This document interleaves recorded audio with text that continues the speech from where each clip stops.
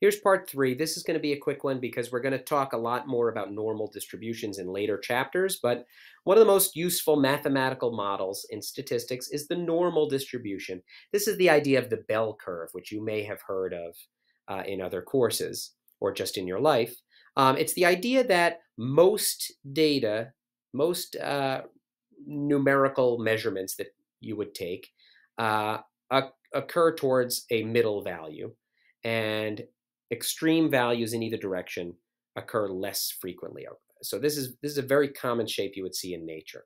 Picture me measuring the height of a large group of people or the IQ or the weight or something. Most people are going to float around the middle and it's going to be rare to find extremes at the high end or low end.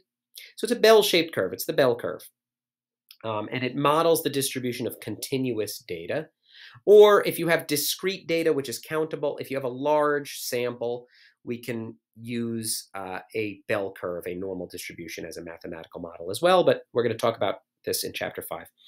The area contained beneath the normal distribution represents the proportion of data or the probability of finding data in a given range of values. All right, so for example, the proportion of data above zero, so if this is my distribution, zero is right in the middle.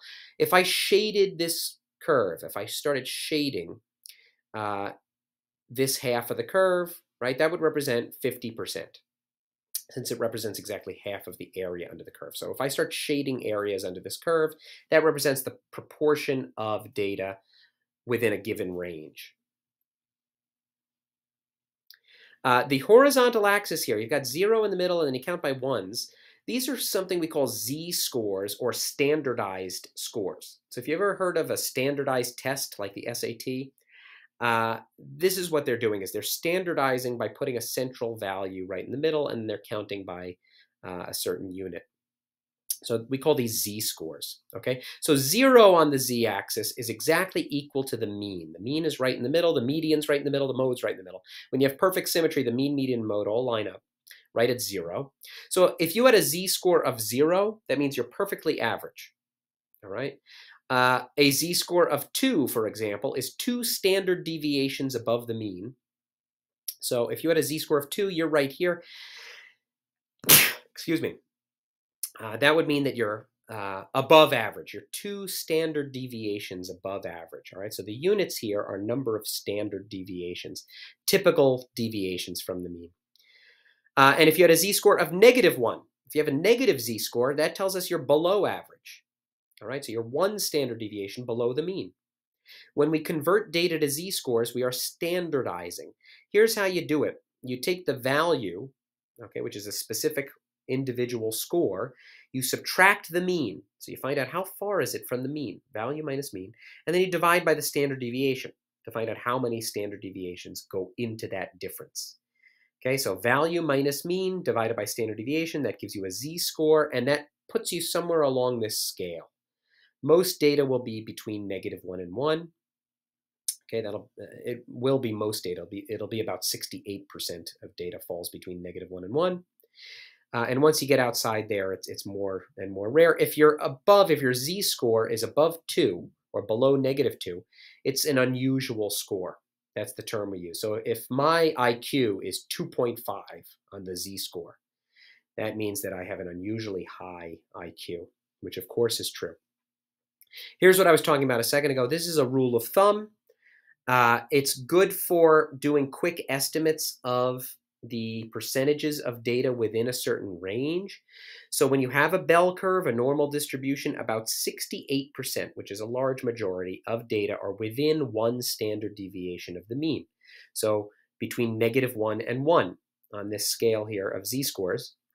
95% of the data, most of the data, is within two standard deviations of the mean. So that's the middle 95%, which is why I said if you're above 2 or below negative 2, that would be unusual because you're in the upper 2.5% or the lower 2.5% that give you that remaining 5% outside of this middle 95.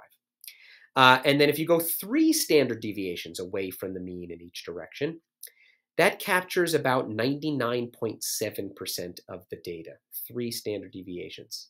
All right, so it's very, very rare to have a z-score higher than 3 or lower than negative 3. You're really, really out there. But it is possible. Let's do a quick exercise. So I'm going to look at my notes again.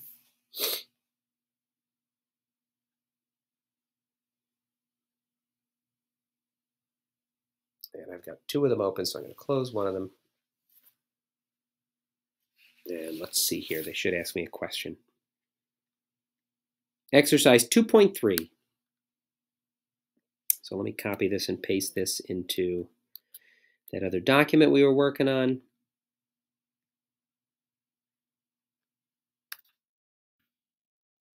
Okay, the scores on a college entrance exam, similar to the SAT maybe, have an approximately normal distribution with a mean equal to 52 and a standard deviation equal to 11.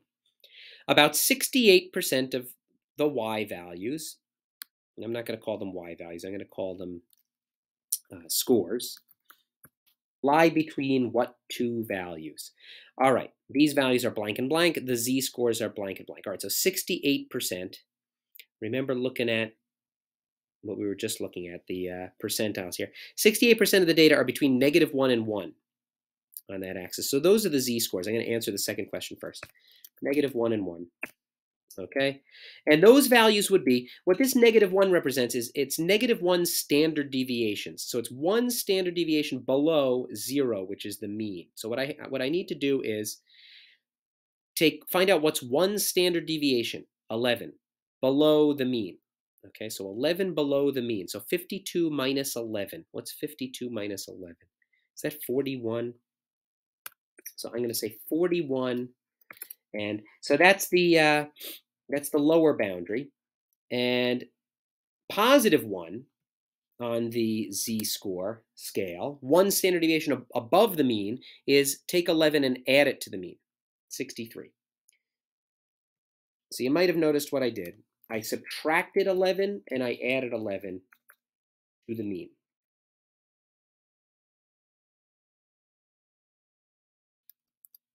Okay, so 68% of the scores on this entrance exam, 68% of students score between a 41 and a 63 based on the fact that it's approximately normal. So it's symmetric, it's bell-shaped, it's the bell curve. Uh, and the standard deviation is 11. The average difference from the mean is 11. The mean is 52. So all you have to do is subtract 11 and add 11 to the mean, and that gives you one standard deviation below and above and that's the middle 68%. So if, if you're a college enrollment uh, officer and you look at this these numbers, you can quickly come up with boundaries of the middle 68%, a majority. Now, what if you want to know 95%, right? So that, remember, was two standard deviations below and two standard deviations above. That captures the middle 95%. So if I want to know what's the middle 95% of scores here, the z-scores are negative 2 and 2 negative 2 and positive 2. And what I need to do here is subtract 11 twice and add 11 twice. Okay, so twice 11 is 22. So I'm going to subtract 22. That gives me 30. And I'm going to add 22. That gives me 74. All right, so the rule of thumb tells me about 95% of the students' scores lie between these two values. Okay, lie between 30 and 74. So 95% of the students at this college are scoring between a 30 and a 74 on this entrance exam.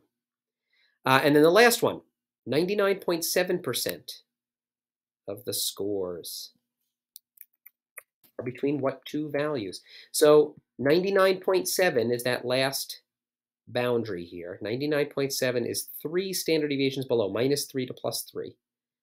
So those are the z-scores, minus 3 to positive 3. What I have to do is subtract 3 times 11 and add 3 times 11, so 33. So subtract 33. What's 52 minus 33? Let's see, 52 minus 33. 19. I could have done that in my head, but why not use some technology? And then add 33. So what does that give you? 85. Addition's a little bit easier, but don't uh, don't be overconfident. Use a calculator if you're not sure. So 99.7, almost 100% of the students are scoring between a 19 and an 85. And you can use those numbers to kind of make uh, decisions or draw conclusions. All right, but that's that's what this rule of thumb says. It's pretty easy to use. If you know the standard deviation, you know the mean, you just add and subtract one, two, or three times the standard deviation to the mean. And that gives you these intervals that capture the middle 68%, the middle 95%, and the middle 99.7%.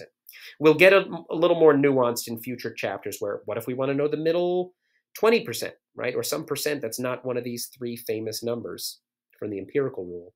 If you want to know something other than 68, 95, 99.7, uh, you've got to use some other technology and some other methods, and we'll learn those soon.